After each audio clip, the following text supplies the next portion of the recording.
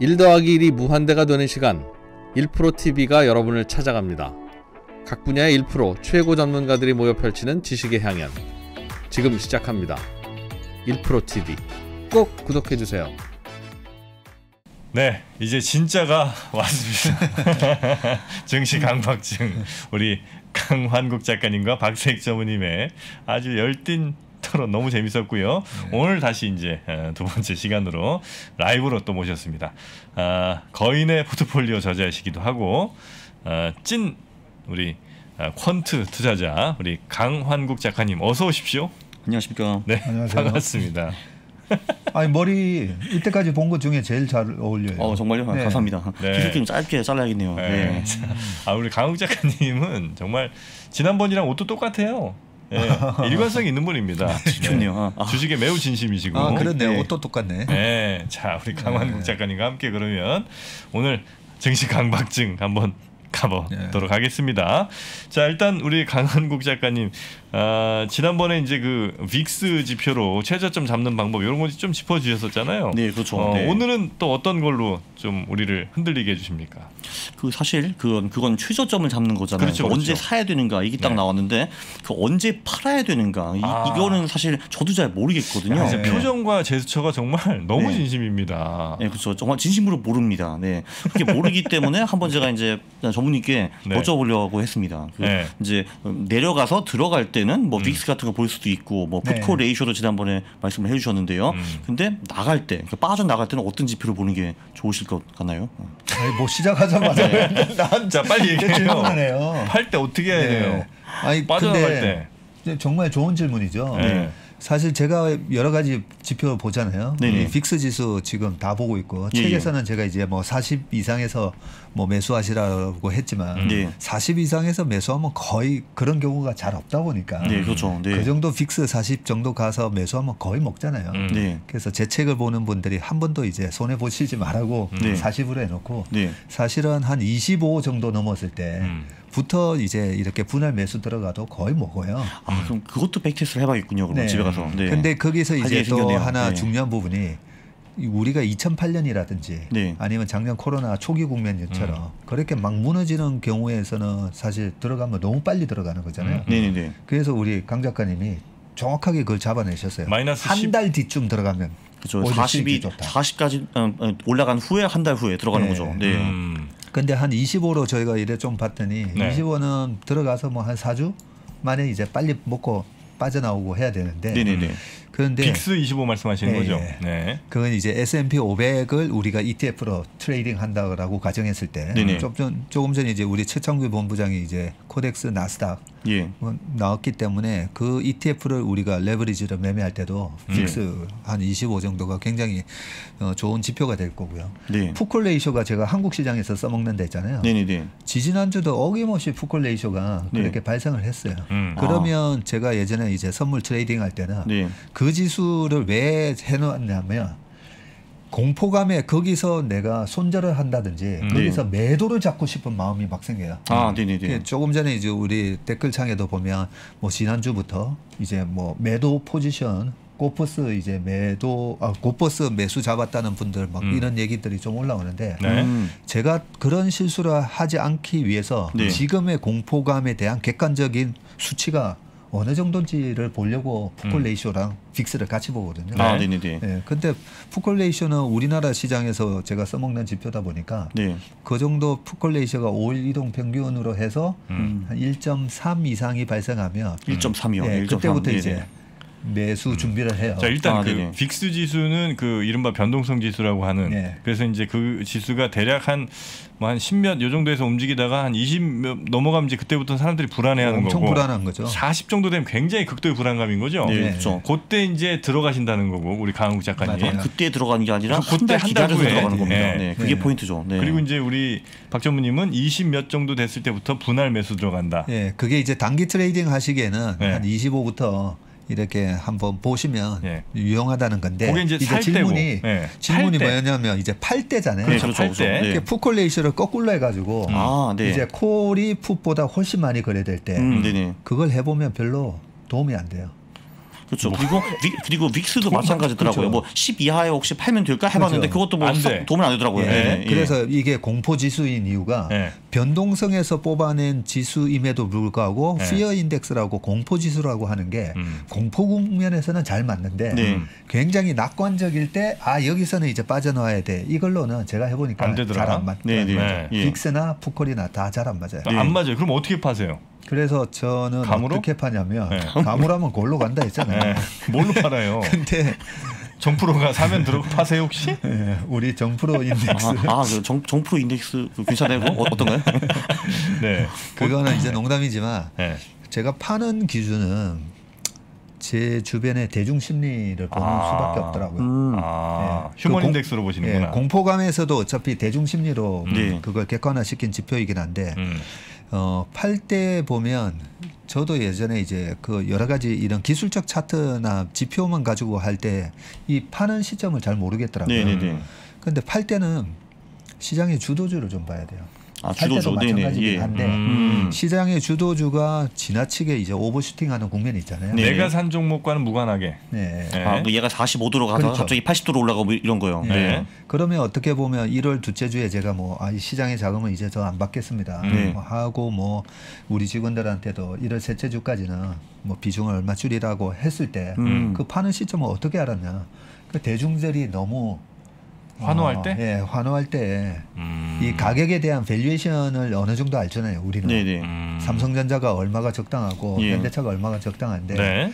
거기에 지나친 이제 좀 소위 음. 말해서 광분할 때, 음, 그때 예, 그럴 때는 매도. 팔기가 굉장히 힘들어요. 그렇죠. 예. 그렇죠. 이 공포스러울 때 사는 것만큼이나 음. 뭐 다들 열광할 때 열광할 때 팔았다가 주가 더 올라가면 더 스트레스 받는다 했잖아요. 아, 그럼 미치죠. 미치죠. 네. 네. 그런 것처럼 이 파는 게 힘든데 네. 살 때도 조금 장기적인 마음으로 이렇게 공포감에 내가 사면 항상 먹더라. 네네. 그게 작년 그죠 예. 3, 4, 5월 달에도 그런 마음으로 사야 되듯이 네. 팔 때도 이렇게 모두가 주변 사람들이 모두가 열광할 때 네. 주식을 사면 항상 아. 손 이익이 안 나더라.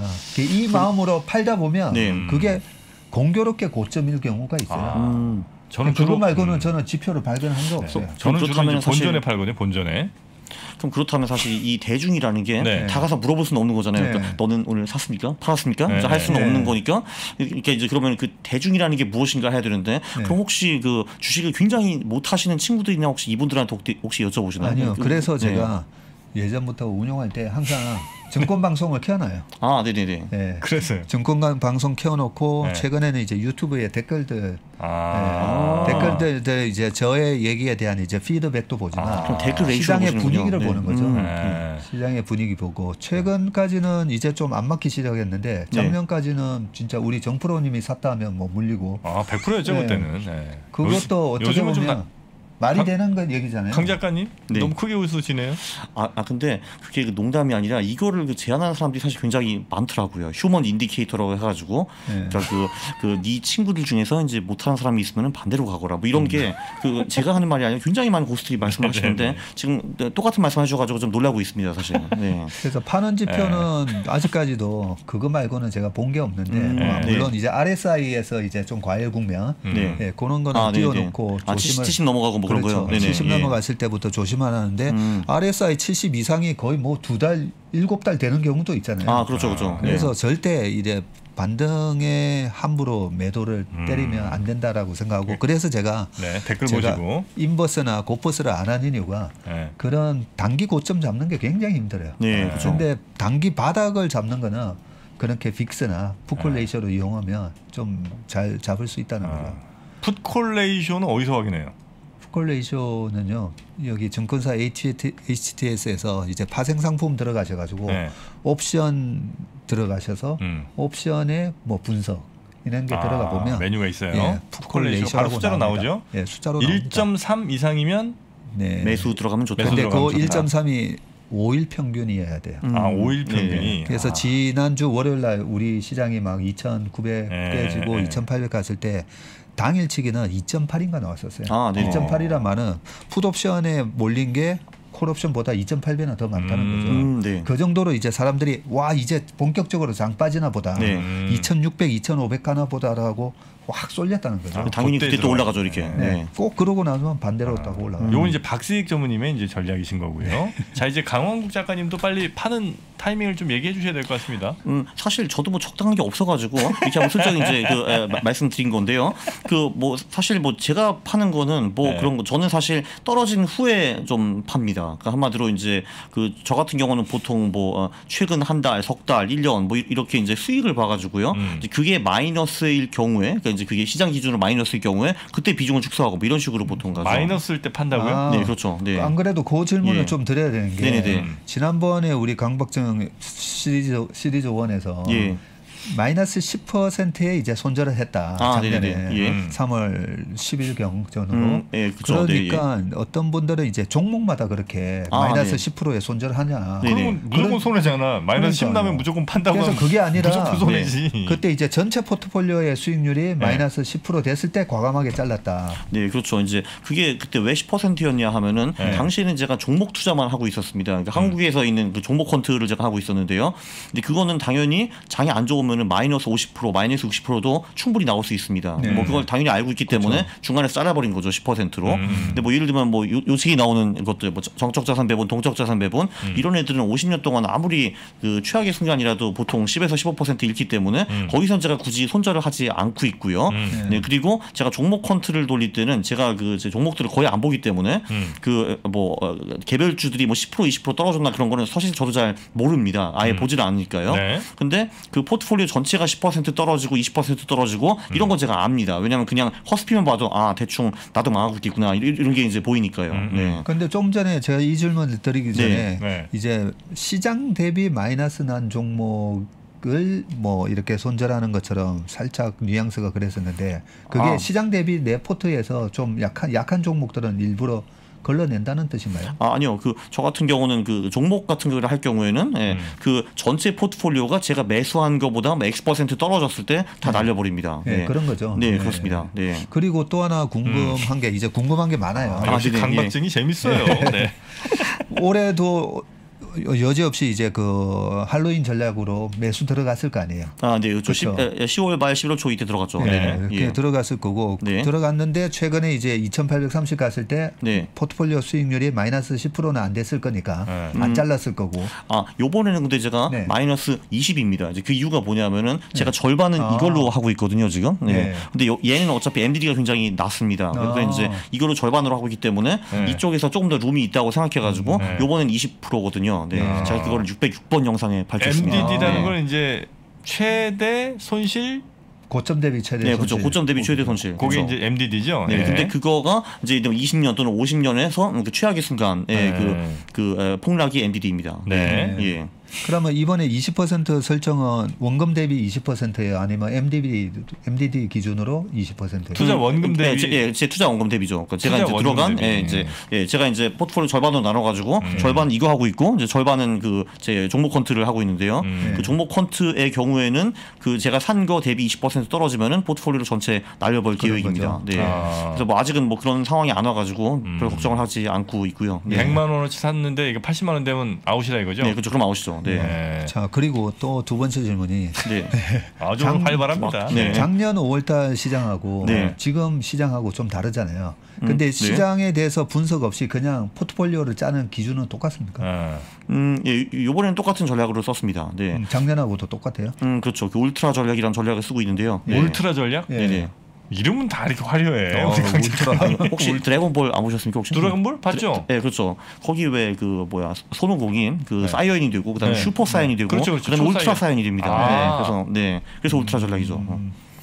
네. 슈퍼 사이언인 다음 네, 그렇죠. 슈퍼 사이언 다음이 울트라 사이언이죠. 아, 네. 제가 슈퍼 전략은 이미 2017년에 만들었거든요. 그래서 네. 이제 그거를 업그레이드 했다고 해가지고 아, 이제 울트라가 된 겁니다. 네, 그렇죠. 네. 네. 뭔데 울트라 전략이? 그러니까 뭐예요? 아, 울트라 전략은요. 아주 쉽게 말하면은 저는 그 재무제표 quant를 할 때 세 음. 개의 그 기둥이 있다라고 봅니다. 첫 번째는 네, 첫 어. 번째는 저평가 주식이고요. 음. 네. 두 번째는 우량주, 네, 음. 그리고 세 번째는 성장주인데요. 네. 그 저평가 주식 같은 경우는 뭐 우리가 잘 아는 뭐 퍼, PBR 뭐 이런 지표들이고 네. 성장주는 그 음, 한국 같은 경우는 가격만 오르는 그런 기업들이 모멘텀이 이렇게 쭉 안 가는 경우가 많더라고요. 네. 그래서 이제 영업이익이나 뭐 저기 순이익 이런 거의 성장을 말하는 거고 음. 또 우량주 같은 경우는 뭐 안정성, 수익성 뭐 이런 거를 말하는 겁니다. 네. 음. 그래서 이제 그런 지표들을 어, 한 12개 정도 합쳐가지고 네. 네, 그 12개 지표가 우수한 그런 기업을 사는 게 울트라 전략이고요. 음. 근데 저가 제가 시뮬레이션을 돌려봤는데 뭐 굳이 그 12개로 해야 되는가 뭐 그런 건 아니고요. 뭐 네. 각각 하나씩만 넣어도 됩니다. 뭐, 예. 그러면 이 세 가지 카테고리를 뭐 3분 의 1씩 해가지고 저평가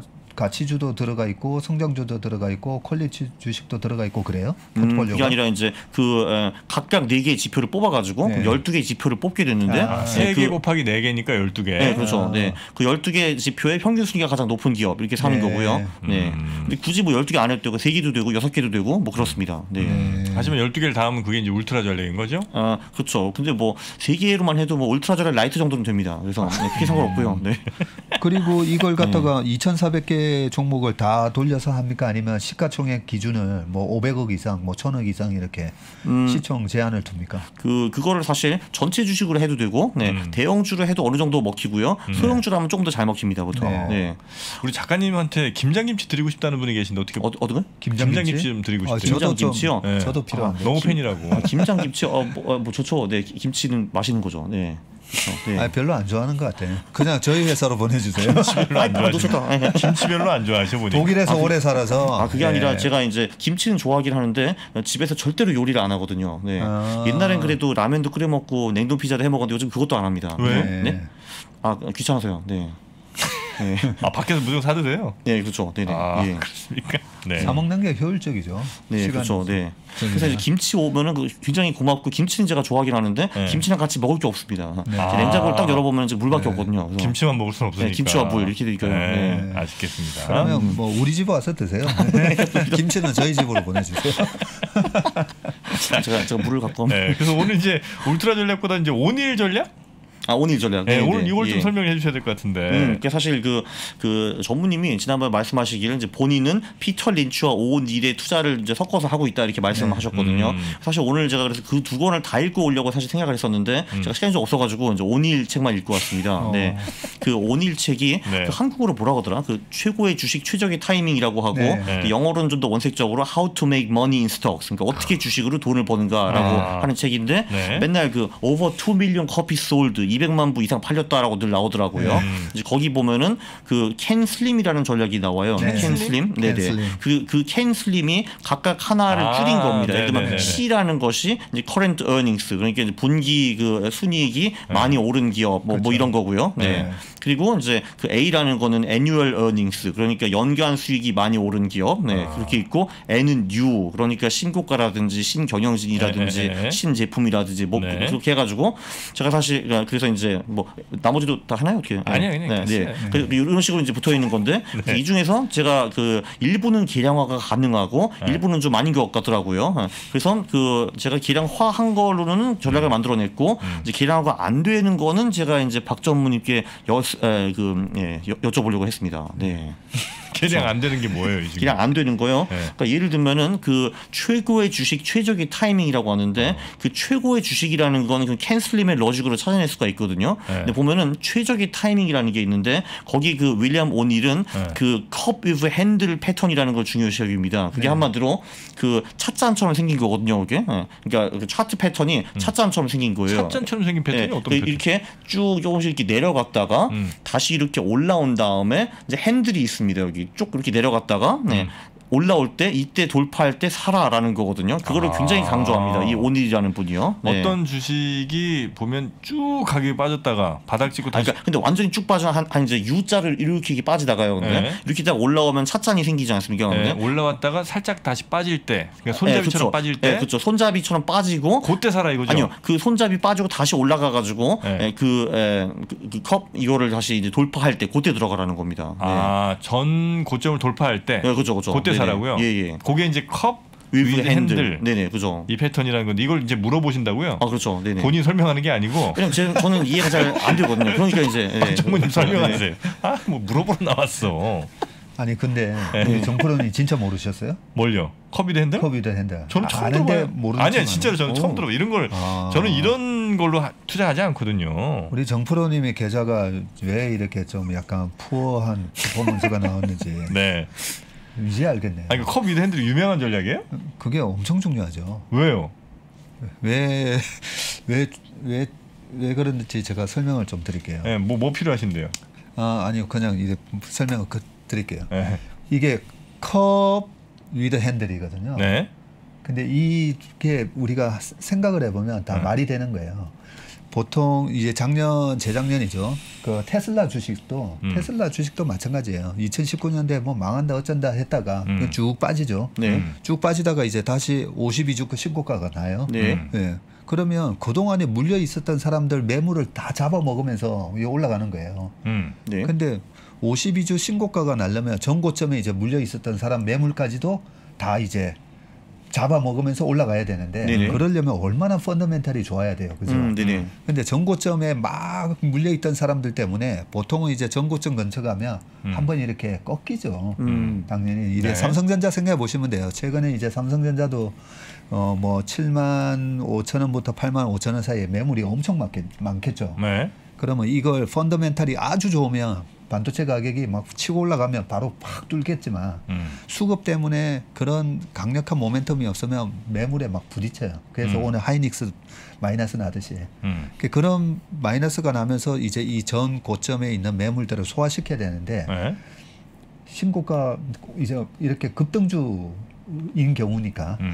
그러면 전고점에서 한번 밀리는데 음. 다시 쌍바닥을 치러 저 밑에까지 빠지지 않고 네. 요 정도 딱컵 핸들 정도 이제 빠지다가 음, 음. 다시 올라간다는 거죠. 네, 네. 왜냐하면 그 정도로 좋으니까. 음. 그러면 2019년 3Q부터 이제 테슬라의 이익이 흑자 전환하는 거죠. 네. 십몇 년 만에 흑자 전환하고 음. 이제부터 본격적으로 이제 이익이 나는 모멘텀이 시작되니까 이제 매, 매, 그렇게 많은 공매도에도 불구하고 매수세가 막 생기는 거죠. 그러면서 이제 전 고점을 빵 뚫으면서 이제 아. 올라가는 게 모든 성장주가 올라가는 초기 패턴이에요? 국면의 패턴인데 음. 이걸 이제 엘리어트 파동으로 생각해 보면 1파 상승이 있었고 2파 조정이 그런 식으로 2년 3년 이렇게 걸릴 수도 있고요. 음. 지루한 조정 이후에 전고점을 이제 돌파할 때가 본격적인 이제 실적이 나올 때 음. 그럴 때 어. 이제 그런 cup with holder 모양이 나오면서 이제 거래량을 동반하면서 치고 아. 올라가죠. 컵이 생기고 음. 핸들이 할 때는 거래량이 좀 빠졌다가 네. 다시 그 돌파할 때는 거래량이 또 확 늘어야 되는 거죠. 거래 그 네. 거래가 없이 그 근처에서 네. 놀고 있는 거는 네네. 그래서 약간 소형주는 제가 이런 부분을 좀 볼 때 거래 없이 이렇게 장난으로 음. 꼬드기려고 그런 패턴을 만드는 경우도 있는데 제가 어. 보니까 네. 그 cup with handle에서 핸들 시작하는 부분에서 제가 주로 사는 것 같고요. 네. 핸들 바닥에서 제가 파는 거 같아 보니까. 아, 네. 아, 사, 기나 핸들에서 사는데? 그 핸들 시작할 때쯤이 고점 아니에요. 네. 그때 이제 보통 제가 사요. 네. 네. 그때 사고 그다음에 핸들로 쭉 빠지잖아요. 네. 그때 이제 제가 못 아, 견디고 아니가 보다 하고 나가시는 네. 거예요. 네, 그게 좀 많았던 것 같아요. 음, 네. 그 다시 돌파할 때 이제 아, 또 가네 이렇게. 아, 그, 아그 괜히 팔았네 뭐 이러다가 이제 네. 살까 살까다 이제 다시 쭉 올라가면 그때 다시 이제 한번 슬쩍 맛보고 고점 찍고 이제 다시 내려오고. 그 대부분의 그 투자가 분들은 그 컵의 전 고점에서 이제 사서 물리다가 네. 네, 물타기도 했다가 네네네. 네, 네. 컵 바닥이 나올 때까지 막못 음. 견디고 아 이거 일봉이에요 주봉이에요 참 그게 최주봉? 보통 보면 이제 고수들은 보통 주봉하고 월봉을 많이 보죠. 주봉 월봉도 이렇게 그림이 나와요? 예, 컵이도 핸들 그림이. 예, 그 애플 아, 차트나 이렇게 보시면 아, 전부 다 길게 봐야 되는 거군요, 그러면. 예. 아. 그 오닐 그책 보니까 보통 한 3에서 6개월 정도 많이 걸린다라고 하더라고요. 네. 예, 1년 넘게 걸린 경우도 있다라고 하고. 아, 예. 오니 그 농구 선수는 아닌 거죠? 그 그분이 농구를 잘하시는지 제가 아, 체크를 못 해봤는데요. 네. 네. 그 상당히 좀 나이가 많으십니다. 지금 거의 뭐 아. 뭐 90살 됐을 거예요 아마. 아, 그렇습니까? 뭐, 뭐, 전설 중에 전설이죠. 그렇죠. 네. 그 책이 나온 지가 벌써 한 30년. 그렇죠. 이게 80년대에 아, 나온 책이죠, 이거 그죠? 네, 네. 샤키론. 네. 근데 이제 아, 샤키론이 그거는 이분은 윌리엄. 아, 윌리엄. 아, 윌리엄. 윌리엄이에요. 그렇죠. 아, 네, 네. 근데 그 컵에서 이제 핸들에서 네. 살수 있는 용기가 생기려면 음. 그 우리 예전에 양대천 교수님 나오셔가지고. 음. 영업 현금 흐름이 2분기 연속 이렇게 플러스가 아, 그렇죠, 그렇죠. 나는지 보라고 네. 했잖아요. 네.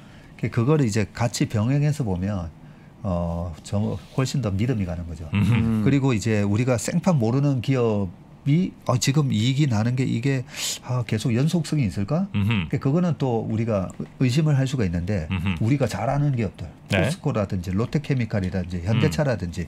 이런 기업들이 2분기 연속 이익이 20% 25%뭐 30% 빵빵 증가하면 음. 훨씬 더 의미가 있기 때문에 CANSLIM에서 이제 current하고 annual 그걸 보라고 하는 거예요. 아, 네네. 예. 음. 좀 오늘 왜 나온 거예요, 근데? 그러니까 아, 나 갑자기 왜 저한테 어, 질문해? 전무님한테 뭐 강의 들으러 왔어요. 아, 네, 강의 듣고 싶은 욕심도 좀 있었습니다. 네, 그렇죠. 네. 아, 그래서 네. 이제 CANSLIM 그리고 커비드 핸들 패턴을 중요시 여기는 그 이유는 이제 들으셨죠? 네네. 네. 네. 그거까지 이제 해결됐고 또 다음 질문 뭐 있어요 그러면? 아 다음 질문요? 네. 그 음, 다음 질문 혹시 그거 말고 다른 최대 패턴 아, 보신 게 있으세요? 네. 아니 질문을 했으니까 제가 질문을 아, 예, 알겠습니다. 네. 네. 아, 네. 그 아까 질문이 난 너무 재밌어 강 작가님이. 그러면 이번 전략도 내년 5월 달까지 끌고 가는 전략으로 지금 들어갔을 거 아니에요. 그렇죠? 어, 그렇죠. 네, 4월 말까지 갖고 갈 겁니다. 그러면 네. 마이너스 20%가 나지 않는 상황에서는 계속 이 포트폴리오가 음. 뭐 중간에 뭐, 뭐 변동성이 있고 갑자기 테이퍼링을 더 빨리 하든 말든 네. 그냥 쥐고 가는데 언제 팔아요? 그러니까 이것도 목표 아. 수익률 뭐 30%에서 잘라요? 아니면 50%에 잘라요? 아니면 그냥 5월까지 그냥 쭉 가는 거예요? 저는 익절 같은 거는 하지는 않고요. 네. 어. 저는 사실은 그 목표 수익을 어, 매기는 거는 별 크게 그 의미가 없다라고 생각을 합니다. 왜냐하면 음. 제가 어차피 6개월 단위로 투자를 하는데 네. 제가 과거 수익을 보니까 음. 제 울트라 전략이 그 6개월 동안에 가장 재수 없을 때는 40% 빠진 적도 있었고요. 음. 잘잘 될 때는 뭐 90% 100% 수익도 난 적이 있었습니다. 근데 음. 지금 우리가 있는 이 11월 4월에는 어떤 수익이 낼지 저는 전혀 모르겠거든요. 음. 그건 뭐 당연히 뭐 계산할 수가 없는 거니까 음. 저는 그래서 이제 MBD 관리만 합니다 사실 어. 수익은 시장이 내려주는 거니까 이제 네. 그 네, 시장과 하늘이 내려주는 거니까 그걸 음. 그냥 받는 거고요. 네 음. 그렇게 하고 있습니다. 그리고 음. 음, 그렇죠 그 이제 20% 떨어지지 않아 가지고 뭐 음. 그렇게 포트폴리오 손절을 할 일이 없으면은 그냥 4월 말까지 가지고 가는 겁니다. 네. 네. 예. 혹시 뭐 주도주 주도 산업 이쪽으로는 관심이 있으세요? 아니면 나는 오로지 퀀트만 가세요? 저는 오로지 퀀트만 이제 가는 사람인데요. 네. 근데 또 그 윌리엄 오딜의 책에 보니까 음. 바로 그 주도주 얘기가 나오기는 하더라고요. 뭐 음. 뭐 리더 그리고 그 제가 이제 박정무님 책도 봤는데 거기서도 주도주 얘기가 굉장히 많이 나오더라고요. 음. 그래서 그것도 슬쩍 오늘 여쭤보려고 했었죠 사실은. 네. 또 물어봐. 주도주 주도주 어떻게 어떻게 해요? 주도주 뭐요? 주도주를 그러니까 네. 예를 들면 뭐 주도 사, 주도 산업 같은 경우도 이제 그 분명히 이제 보통 오닐이 말하는 거는 음. 주도 산업에 있는 주도주를 찾아라 뭐 이런 식으로 말을 많이 하거든요. 음. 네. 그래서 이제 저는 그거 보고 생각을 했죠. 그래서 어떻게 하라는 것인가라고 이제 음. 생각을 하게 되더라고요. 네.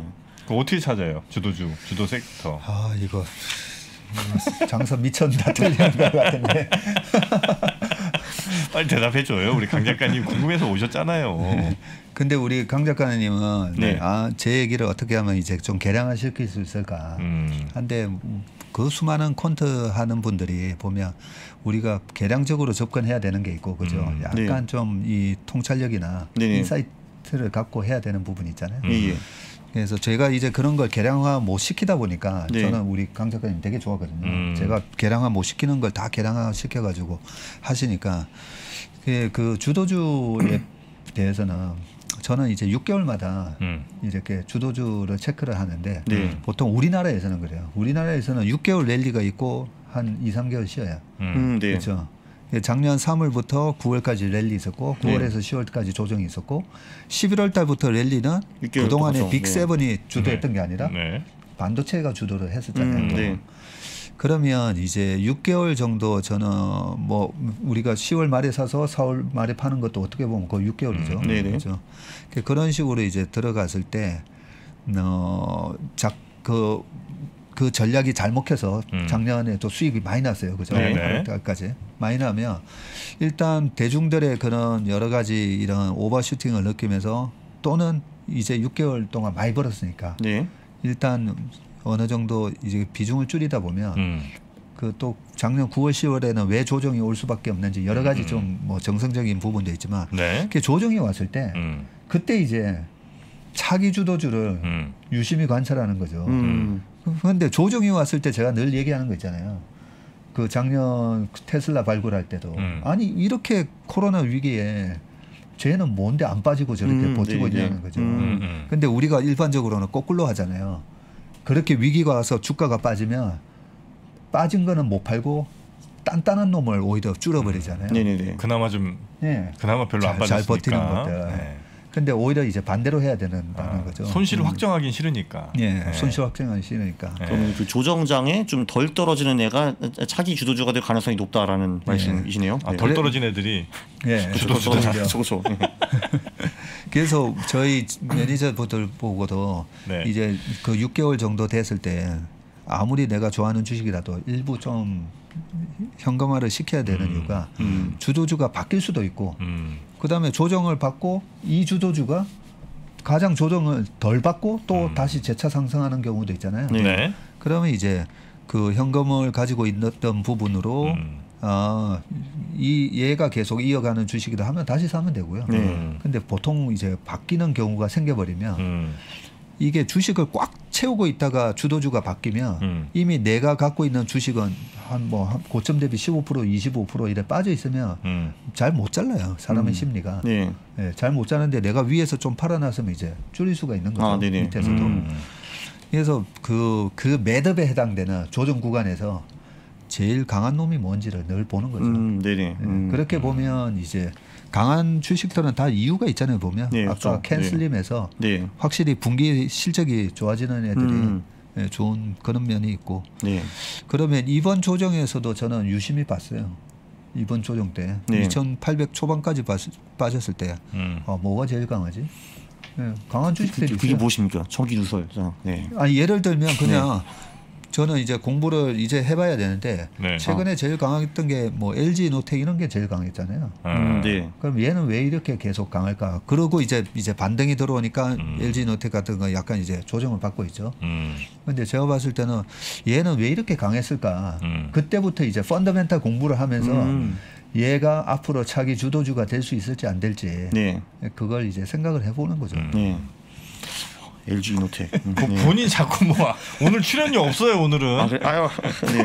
그, 아 근데 저도 전략을 만들어 오긴 했습니다. 그래서. 네. 아, 그 전략 좀 네. 하나 좀 빨리 걸로. 알려줘요. 지금. 자, 그래서 네. 일단 그 보면은 그, 그 거의 어, 캔 슬림에 있는데 네. 아무래도 C랑 A가 계량하기가 가장 좋거든요. 음. 그러니까 C라는 건 커렌트 어닝스 그러니까 이제 그, 음, 그 최근 분기 뭐 EPS 그러니까 순이익 증가율 이걸 보는 거거든요. 근데 그 책에 보면은 그거 말고도 좀 딴 얘기도 나와 있습니다. 보면은 뭐 그 EPS 가 음. 계속 가속화되는 게 좋다 뭐 이런 말이 나와 있고요. EPS가 가속화되는 게 좋다. 그러니까 예를 들면은 뭐 전 분기에는 EPS가 30% 오르고 이번 분기는 50% 올랐다 뭐 이런 아. 거거든요. 근데 그래서 제가 해봤더니만 네. 그건 별거 없었습니다. 보니까 네. 아, 한국에서는 네 한국에서 제가 돌려봤는데 아, 검증을 해보셨구나. 네, 별거 없더라고요. 근데 네. 근데 그거는 확실히 좋습니다. 한마디로 이제 이번 분기에 음. EPS가 많이 성 성장했다. 그런 건 좋고요. 그리고 매출도 동반되면은 그것도 좋았습니다. 보니까. 음. 그래서 보니까 뭐 분기 매출 증가율이 뭐 최소 25% 그리고 음. 뭐 분기 EPS 증가율이 최소 50% 그러니까 요거 음. 두 개만 합쳐도 음. 네, 상당히 그 좋은 전략이 나오더라고요. 아. 아, 분기 매출 증가율 네. 25%. 네. 그다음 분기 EPS 증가율이 50%. 네, 그렇죠. 그 두 개를 어, 어, 어, 동시에 만족하는 그런 전략들이죠. 음. 네, 그렇죠, 이런 회사가 그렇죠. 근데 많이 있어요? 그런 기업들이 꽤 있습니다. 왜냐면 사실 저는 보통 전략을 만들 때그 음. 20개가 충족되는가 아닌가 이거를 이제 보통 많이 보거든요. 아. 그래야지 이제 하나의 전략이 나오기 때문에 네네. 종목이 3개밖에 안 나왔다. 그런데 그러면 사실 그 시뮬레이션 그 음, 전략 그 수익률을 잘 믿을 수가 없는 거죠. 음. 통계적으로 너무 좀 무의미하니까요. 그렇죠. 네. 그래서 이제 20개 뭐 종목이 이제 매 분기발에 나왔다 하면은 아 그럼 이 정도면은 충분한 조, 종목이 많은 종목을 음. 뽑을 수 있겠구나 이런 게 제가 제가 보통 보거든요. 네. 네. 그리고 그 A 연간 EPS 증가율 네. 이제 그것도 50% 이상 이것도 합쳐 도 예, 충분히 종목들이 많이 나오더라고요. 네. 어, 그러니까 분기 EPS가 최소 50%면 연간은 당연히 50% 이상 나오는 거 아니에요? 음, 그 꼭 그런 거는 아니, 아, 닙니다 아, 왜냐하면 이제 그 분기 EPS라는 거는 이제 이번 분기 수익만 보는 거고요. 네. 네. 그리고 이제 연간 EPS는 최근 4분기의 EPS를 보는 거거든요. 아. 그래서 좀 숫자가 좀 다릅니다. 그게 혹시. 네네. 네네. 그래서 그, 그, 그것도 이제 50% 이상 올랐다. 음. 그런 것도 좋은 것 같았고요. 음. 네. 그리고 그 PER 같은 경우는 그 음. 오닐이 그렇게 별로 중요시 여기는 지표는 아니었습니다. 사실. 네. 음. 그래서 보면은 아 뭐뭐 뭐 사람들이 뭐 얼핏 보면은 뭐 PER 30, 40 비싸다고 하는데 음. 보통 거기서 많이 시작한 기업들이 많더라 이렇게 나오더라고요. 음. 근데 그래도 이제 대충 보면은 그 보통 이렇게 막 10배, 100배 오르는 애들은 뭐 음. 20, 30, 40부터 많이 시작했다 뭐 이런 음. 식으로 말을 하더라고요. 그래서 음. PER도 제가 되게 loose하게 잡았습니다. 50 음. 이하 뭐 이 정도만 잡았고요. 아. 네. 0에서 50 이하. 네. 네. 그렇게 하고 조건 만족한 네 가지 조건 나왔습니다. 분기 매출 최소 25%, 네. 분기 EPS 최소 50%, 네. 연간 EPS 최소 50%, 50%, 네. PER는 50 이하 네. 네 가지 조건 충족했어요. 이 네. 중에 뭘 삽니까? 음, 그러니까 이제 그 여기에 이제 충족된 기업들을 뽑아가지고 네. 이제 사면 되는 거죠. 그 아, 매, 매, 분기마다. 그래서 이제 하면, 뭐 네. 분기 rebalancing 또는 반기 rebalancing 이런 걸 할 수가 있는 거죠. 음. 네. 그리고 이제 그 여기 supply라는 말도 나옵니다. 그 네. CANSLIM에 보면 S가 있잖아요. 네. 그 음. S가 supply인데 음. 뭐 그 그 말을 하더라고요. 그 오닐이 거기 음. 뭐 에, 주식이 뭐 5천만 개, 어, 5억 개 되는 그런 기업들은 음. 아무래도 띄우기가 좀 어렵다. 그러니까 주식 수가 낮은 기업들이 조금 더 띄우기 좋다. 뭐 이런 말이 나오거든요. 그, 아 지금 상장된 주식 수가 좀 적은 주식. 네. 아. 근데 이제 그거는 제가 사실 데이터를 찾기가 좀 어려워가지고 네. 이거를 좀 어떻게 좀 변형 변형할까 생각을 해봤는데 음. 그럼 당연히 이제 소형주 시가총액이 낮은 기업 이제 이런 기업들이 supply가 상대적으로 적겠죠. 주식 수가 적고만 그럴 겁니다 음. 분명히. 네. 뭐 그, 그, 그래서 제가 이제 고민해서 나온 게 조금 전에 그 필터들을 다 충족하는 기업들 중에서 음. 시가총액이 낮은 애들부터 먼저 사기라는 식으로 제가 전력을 만들었어요. 네. 시총이 낮은 애들이 유리해 아니면 어, 발행 주식 대비 그러니까 통용되는 그러니까 저 거래되는 주식 수가 적은 게 유리해요. 예를 들면 어떤 회사는 시총은 뭐 10조인데 네. 거래된 주식은 1조밖에 없을 수도 있고 네. 어떤 회사는 2조짜리 회사인데 거래된 주식이 뭐 1.5조 이렇게 될 수도 있잖아요. 예. 그두 개 중엔 뭐가 더 유리한 거예요? 그러니까 어, 일단 시총? 사실 네. 시총 순으로 갑니까? 그러니까 물론 이제 그 윌리엄 모닐의 전략을 정확히 따르면은 네. 주식 수가 많고 아, 적고 예, 음. 그리고 유통된 주식이 적고 이렇게 하는 게 좋기는 한데 예. 음. 예. 그런데 이제 그거는 제가 데이터가 없기 때문에 음. 그, 그럴 경우는 제가 이제 좀 바꾸죠 이런 것들을. 예. 그러니까 한마디로 그러니까 윌리엄 모닐 네 생각은 알겠는데 음. 난그 데이터가 없어. 그래서 나는 유사하게 한번 가볼 거야. 이런 식으로 제가 보통 전략을 많이 짭니다. 네, 네 그래서 네, 네. 조금 바꿨죠 한마디로 제가 음. 시가총액 이런 걸로. 네. 그래서 그, 그렇게 해보니까 뭐 그래도 뭐 물론 backtest 결과긴 하지만 복리 30%는 훌쩍 넘어가더라고요. 그러니까 그게 우리나라 40% 넘어가더라고요. 우리나라 네. backtest예요, 아니면 우리나라입니다. 아, 네. 우리나라 미국 데이터가 없습니다. 그래서 음. 네. 자, 그래서 이런 조건들로 투자하는 방법이 어떤지를 또 우리 박세익 전무님한테 검증 받는 거죠 지금? 음, 그렇죠. 저는 이제 수치로는 검증을 이미 했고요. 근데, 네. 근데 이제 그 그렇죠. 이제 어, 떻게 생각하시나 그 의견은 당연히 여쭤보려고 했습니다. 네. 네. 네. 어떻습니까 이 전략? 아니요, 이렇게 뽑은 종목을 저한테 좀 갖다 주세요. 아, 네네. 그, 내년에 그, 우리 다음번에. 네, 그렇죠. 내년에 우리 영업 시작하면 네네. 이렇게 포트폴리오 좀 짜게 네. 네. 매달 아. 좀 이렇게 해서 좀. 아, 이런 데이터로 나온 종목들 네. 스크린 네, screening해서 뽑아보는 실험도 좀 해보면 좋겠네요, 그죠? 네. 아, 네네. 이걸 backtest는 근데 어떻게 하는 거예요, 도대체? backtest요. 그게 지금 한국 같은 경우에는 네. 퀀트킹이라는 프로그램이 있고 뉴지스톡에서 만든 젠포트라는 그 프로그램이 음. 있습니다. 저 같은 경우는 퀀트킹을 좀 많이 사용하는 편이고요. 네? 유료예요? 네, 둘 다 유료입니다. 네네. 아, 네. 얼마인데요? 그 퀀트킹 같은 경우는 지금 연 17만 5천 원인가? 아, 그 정도 비싸. 한... 네. 아, 아 근데 만약에 그 포트폴리오가 어디 넘어가면은 네. 17만 5천 사실 별거 아니라고 저는 생각을 하거든요. 네. 네. 아, 왜냐면 그 프로그램을 통해서 예를 들면 수익을 1% 올릴 수 있다. 그럼 그게 100만 원이잖아요, 사실. 네. 음. 네. 그 라, 라고 저는 생각을 합니다. 제가 그왜 네. 우리나라 기업으로 해봤냐, 미국 음. 기업을 해봤냐 네네네. 여쭤봤냐면 예.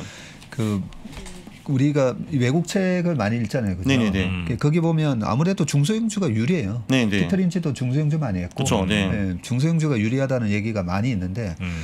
그 미국에서 중소형주로 시작해가지고 네. 미국에서 이제 1등이 되면 예. 그게 3억 3천만 명의 인구가 쓰는 게 아니라 네. 거의 세계 1등이 되잖아요. 네. 음. 그래서 미국은 뭐 어떤 새로운 제품이 성공을 하면 3억이 아니라 한 30억이 쓰는 음. 그런 제품이 돼요. 아, 그렇죠, 그렇죠. 옛날에 네. 이제 맥도날드가 그랬고 음. 맥도날드가 미국에서 전역에 다 깔렸을 때 아 이제 포화됐다 음. 성장 없을 거다 했다가 뭐 세계 뻗어 나가면서 네. 또 퀀텀 점프가 나오듯이 음.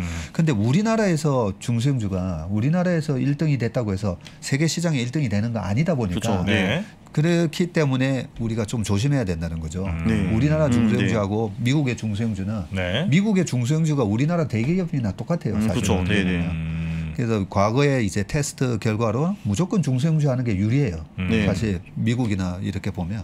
근데 우리나라는 왜 이렇게 중소형주가 좀 잘 안 되지? 음. 그런 이유가 약간 이제 시장의 내수 규모 차이가 음. 또 세계 globalization이 미국 기업은 다 영어로 된 기업이다 보니까 네. 네. 그 차이는 있다는 거죠. 네. 알겠습니다. 우리 강한국 작가의 어, 오늘 온일 전략, 네. 오늘 온일 전략, 예, 우리 박색 전문님과 함께 공유를 좀 해보셨고요. 네. 우리 강박증은 또 이렇게 끝낼 수 없잖아요. 강한국 네. 어, 박색의 어, 증시 전략, 강박증 또 에피소드 3도 한번 가봐야 되지 않겠습니까? 아싸. 네, 에피소드 3 가야죠. 네. 아싸. 네. 아싸. 음. 본인이 나오시는 거예요. 아시죠? 그, 그러니까요. 네. 네. 자, 우리 뭐 강광국 작가님의 네. 어, 우리 박세희 전문님과 함께하는 강박증 저희가 조만간 다시 한번 또 시간 만들어서 그때 이제 새로운 전략 제대로 좀 갖고 오셔야 돼요. 아, 네, 알겠습니다. 아, 근데 요, 음. 요 전략이 사실 조금 덜 끝났습니다. 이게 아, 보면은 네. 그러니까 요거는 한국에서 먹히는 거고요. 네. 보면은 그 오닐이 주장하는 것 중에서 음. 안 먹히는 것도 몇 개 있었습니다. 아, 거, 거기, 거기 보면은 예를 어. 들면은 뭐 그 이런 기업들은 ROE도 엄청나게 높다. 뭐 25%에서 50% 이상 뭐 이런 기업이 많다라고 하면은 음, 음. 근데 보통 한국에서는 그 필터를 넣으면은 종목들이 다 사라져요. 그거를 충족하는 기업들이 일단 별로 없고 충족 겨우 하는 기업들도 별로 수익이 높진 않더라고요. 그래서 음. 그 수익성 지표 이런 거는 뭐 굳이 꼭 볼 필요가 없다라고 생각을 하고요. 음. 보면은 거기 이제 거기 CANSLIM에서 N이라는 게 new high라는 말도 있어요. 그러니까 음. 신고가 통과하는 거 네네네. 그런 것들도 뭐 그다지 뭐 별거 아. 이제 없더라고요. 그래서 어, 네, 보면은 이제 네. 그 오닐 전략이 한국에서 이렇게 보면 전반적으로 잘 통하기는 하는데 음. 이제 안 먹히는 지표들도 꽤 있더라. 이제 아. 그런 거를 이제 볼 수 있었습니다. 네, 네. 실제로 해보니까 그렇죠. 네, 그렇죠, 그렇죠. 네, 네. 아. 특히 이제 그 됩니다. 네. 네. 신고가 이런 거 왜냐하면 사실 그런 거는 미국에서 되게 잘 먹히거든요. 음. 모멘텀이 이제 높은 기업들, 네. 최근 몇 동안에 많이 오른 기업들. 음. 근데 그거는 이제 한국에서는 뭐 썩 그렇게 잘 먹히는 것 같지는 않더라고요. 음, 그렇죠. 그런 식으로 실험을 해본 다음에 네. 모니 전략을 한국 시장에 이렇게 좀 맞춰야 됩니다. 그거는 음. 굉장히 중요한 것 같더라고요. 아, 네. 나에게 맞는 전략으로 누구 아무리 유명한 사람 전략이라도 나한테 맞는 걸 바꾸지 않으면 네, 아무 우리, 없습니다. 그렇죠. 그렇죠. 우리 시장에 네. 맞는 걸 바꿔야죠. 그렇죠. 그걸 우리 광욱 작가님이 하고 계시고. 네, 그렇습니다. 네. 그 전략은 또 우리 박색 전무님한 테 검증 받으시고. 네, 그렇죠. 네. 네. 그 얘기를 계속해서 우리는 네. 키워 나가도록 하겠습니다. 알겠습니다. 네, 네. 강홍 작가님 고생 많으셨고 혹시 강홍 작가님한테 하나 좀 궁금한 게 네. 만약에 올해 자본시장 올해 인물을 꼽는다면 누가 좀 있겠습니까? 자본시장에서 어, 정말 올해 가장 열심히 가장 눈에 띄는 활동을 했다. 박세희 전문님 아니실까요? 그렇죠. 네. 아니면 정말 지수까지 끌어올린 네. 곧버스를 통해서 지수 코스피 지수를 끌어올린 정프로도 올해 인물이 될 수 있잖아요. 공동 1위 정도 아닐까 싶습니다. 그렇죠. 네, 그런데 네. 얼토당토하는 투표를 지금 하고 있다고 합니다. 어, 아 그래요? 네네. 예. 그 후보 네. 몇 명이냐면요. 예. 한국거래소에서 하는 거거든요. 네네. 자 김동환, 아, 네. 염승환, 아, 아, 예. 오건영, 오. 전석재 슈카죠. 와. 예, 그리고 정일문, 존 리, 예. 예, 그리고 마지막으로 최현만. 와, 이거는 정말. 예. 자, 여러분은 어떻게 생각하십니까? 예. 저는 저와 박세익 전무님 왜 안 계세요 저기? 네. 네. 이게 이게 난 이해가 안 된다는 거예요. 아니 이 투표에 대해서 여러분 네. 참고 계실 겁니까? 없네. 네. 받아들이실 거예요 그냥? 여러분 이런 건 참지 않으셔야죠. 그동안 불의를 못 참았던 여러분 모두 지금 어, 한국 거래소에 뛰쳐가셔서 한국 거래소 인터넷 접속하셔서 1인 데모 네. 네, 투표를 좀 해주십시오. 이거는 어, 아니다. 어이가 없네요 진짜. 음. 이 중에서 제가 모르는 분들도 아 심지어 모르는 분이 네네. 강한국 작가님 모르는 분이 있는데 이거 말이 네. 됩니까? 정프를 넣어달라고 투표를 하시거나 아니 박세익 전무님이라도 같이 가야죠. 네. 자 여러분 함시합니다. 네. 한국 거래소에서 지금 얼토당토하는 투표가 진행되고 있습니다. 정말 네. 여러분 빨리 들어가셔서 여러분의 의견을 남겨주시기 바랍니다. 아니 저야 뭐 그랬는데 음. 아니, 우리 김동완 소장님이 저는 저 중에서는 음. 일곱 명 중에서 1등, 뭐 슈카 2등, 네. 뭐요 정도로 본다면. 그렇죠. 네. 근데 김동완 소장님은 음. 여기 아침 방송만 하셨잖아요. 음. 네. 근데 우리 정프로님 뭐 아침 저녁을 했잖아요. 아유. 그래서 저는 저기 영순위로 우리 정프로님이 올해 당연한 이 독보적인 아, 1등인데. 저는 이게 한국 거래소들이 관료 사회의 어떤 이는 뿌리 깊은 엘리트주의. 나이로 잘랐나? 아니 나이가 아, 전석기 나보다 어, 려요 말도 안 됩니다. 있는데. 그러니까 이 엘리트주의 이게 문제라는 겁니다. 그러니까요. 네. 네. 네. 우리 강 작가님 네. 우리 새로운 세상 만들어 봅시다. 네. 대동 합니다. 네. 네. 이건 우리 참을 수 없습니다. 네. 여러분 한국 거래소 모두 달려가셔서 투표 어, 부탁드리겠습니다. 자, 우리 강한국 작가님. 마지막까지 좋은 말씀 대단히 감사하고요. 감사합니다. 조만간 다시 강박증으로 어, 돌아오시면 되겠습니다. 고생, 고생하셨습니다. 고생 많으셨습니다. 네.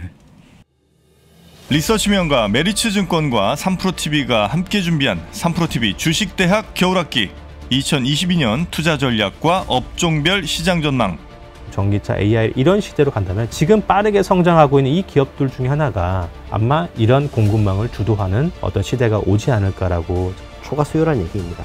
우리가 90년대 중반에 이러한 shortage를 한번 겪었고 2000년대 초반에 한번 겪었고 2017년에 한번 또 겪은 적이 있습니다. 이경수 센터장이 이끄는 국내 최고의 애널리스트 23명 메리츠 증권과 함께 2022년 투자 계획을 세우시기 바랍니다.